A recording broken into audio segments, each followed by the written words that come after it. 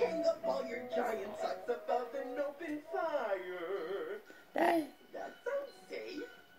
So Ah. Carol, faithful friends are dear.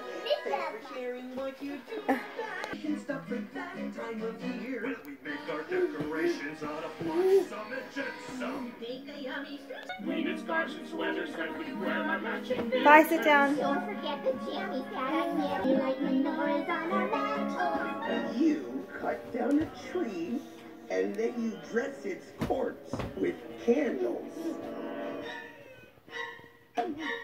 I! Anna and Elsa will have all that they need. I'll fill my sleigh here with the help of my steed.